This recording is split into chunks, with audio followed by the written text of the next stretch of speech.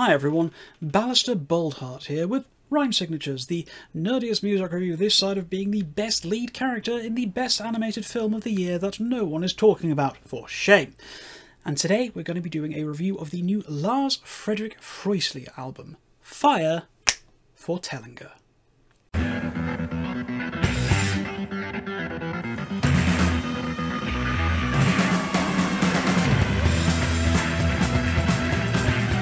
Yeah, I know, I know, I'm late on this one. It's been out for over a month. The skies are burning, the seas are boiling, and I've missed the inevitable hype train for this video to get any clicks. Yada, yada, yada, yada. Look, I don't care, okay? I take my time if I need to, and I do these videos for me. You guys know that. But anyway, Enough of my ceaseless whittering.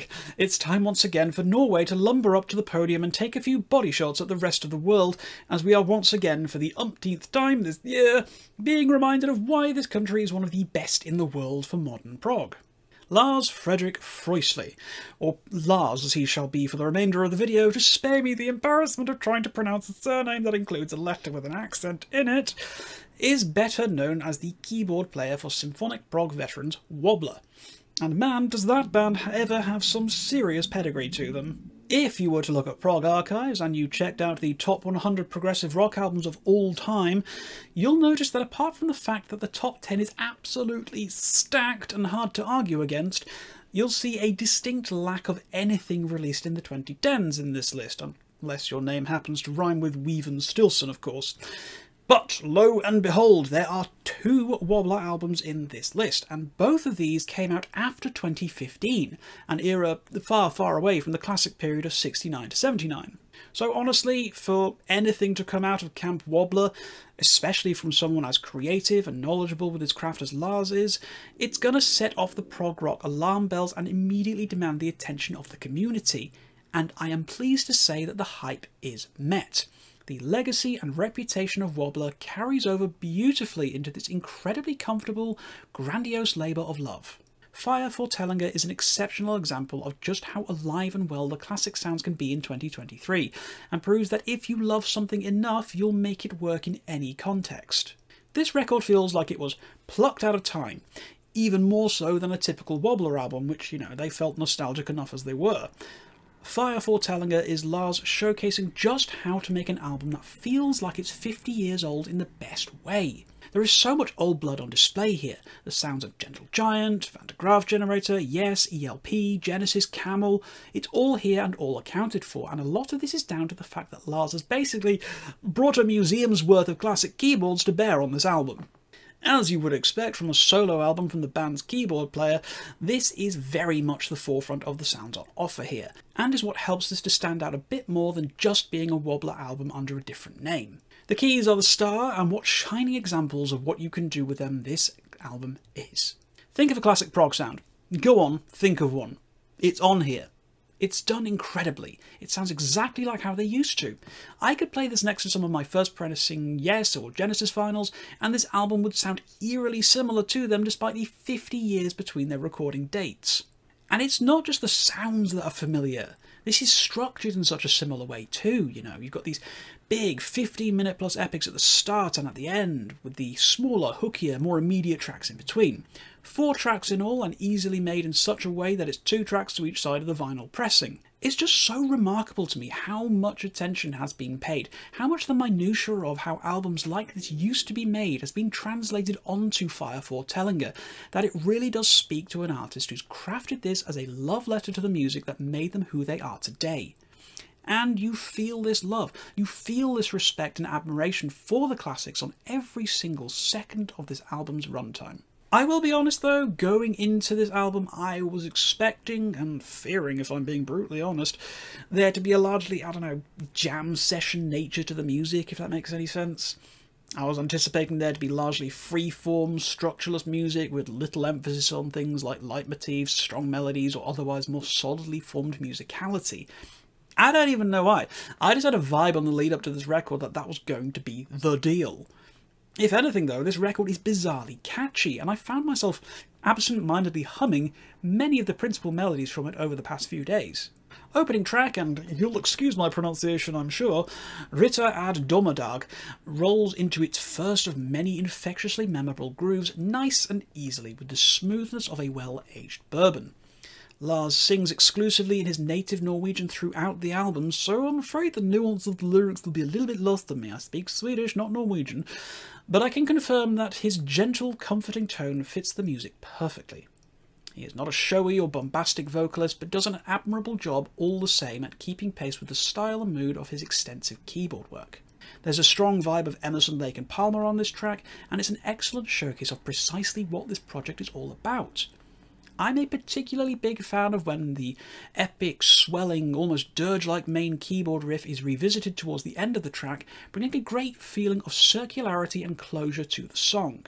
The two shorter tracks of Et sted under himmelhvelvet and Hjertegen do a great job at offering some more immediate punches to the album, showing off Lars's more frenetic and engaging songwriting, as the massive slow burn soundscapes of the opener are left behind in favour of a more direct and front-loaded approach.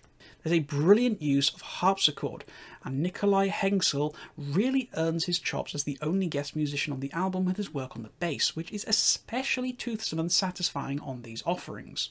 It's nice that we have these two tracks to round things off, as while I am obviously a big fan of longer form tracks, there are times that when an album is formed of nothing but these, it honestly makes me not want to listen to it as much, as it always feels like a huge time investment. You know, I don't feel I can pause the music or walk away until the next track starts.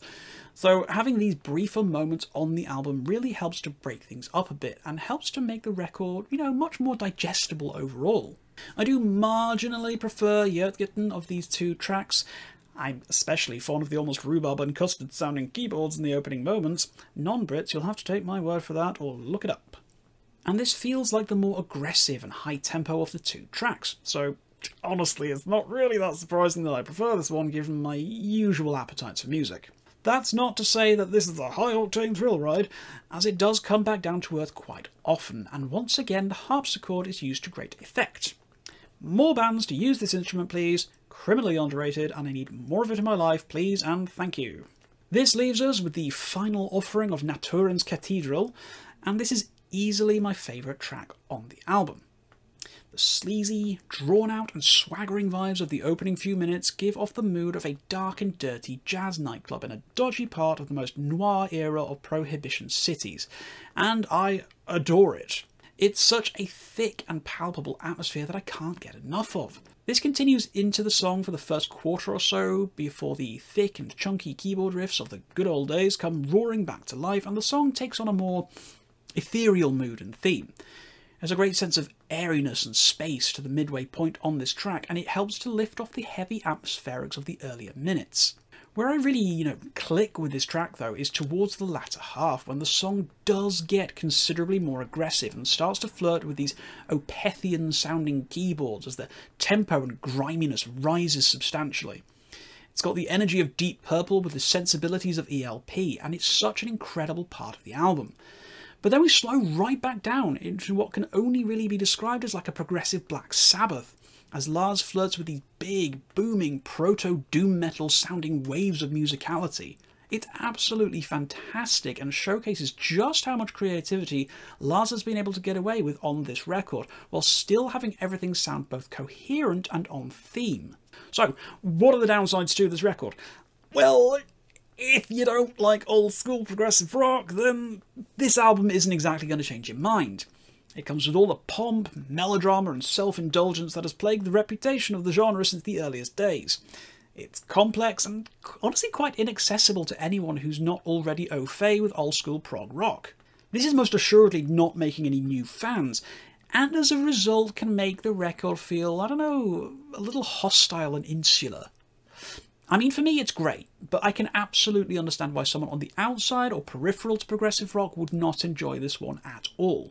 So, what else can I say about Lars Fredrik Frøislie's Fire for Fortellinger? As far as nostalgic throwbacks go, it's going to be hard to do better than this one in 2023. There's a lot of love and attention to detail in this album from a man who clearly knows his stuff and has clearly been raised on nothing but the finest examples of classic prog. No, this isn't an album for the masses, and I'm pretty sure Lars knows he's not going to be breaking into the top 40 anytime soon with this kind of record. But there's a self awareness throughout the album that speaks of a man who knows that he's making this for people who miss the days of bands with 17 keyboards on stage, 12 minute drum solos, and the lead singer dressing up like a rhododendron. Recommendation is kind of twofold on this one. If you're a fan of 70s era prog rock, then definitely get a physical copy of this, and definitely get it on vinyl, as it absolutely feels like this is how the album is supposed to be enjoyed. If you're not as keen, obviously give it a stream first, but I think regardless, Lars deserves to be supported with this album, so a digital copy is always appreciated as well. This is all, of course, guys, my opinion, as you know, so if you have listened to Fire Fortellinger, please tell me what you thought about the record in the comments down below. If you did like this video, please do share it around with anyone else you think would possibly enjoy it, and please do consider subscribing to the channel for more content. If you especially like what I do, please do consider clicking my Ko-fi link in the description box down below to help support the channel. And until next time, guys, as always, keep your rhyme signatures odd.